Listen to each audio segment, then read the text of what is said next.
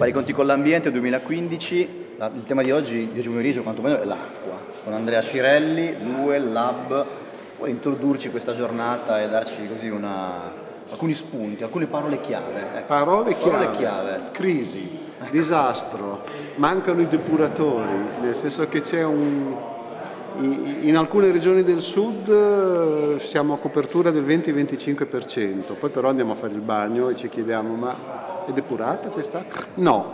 Allora come lui l'abbiamo messo assieme tutti i protagonisti del settore per poter dialogare tra, come sta scritto, regolatori, industrie, ma perché no cittadini e quindi cercare di capire come vanno messe assieme queste cose. Tema vecchio che però non è mai stato affrontato bene. Ottimo, come è stato conciso. Grazie Andrea Cirelli, buon lavoro.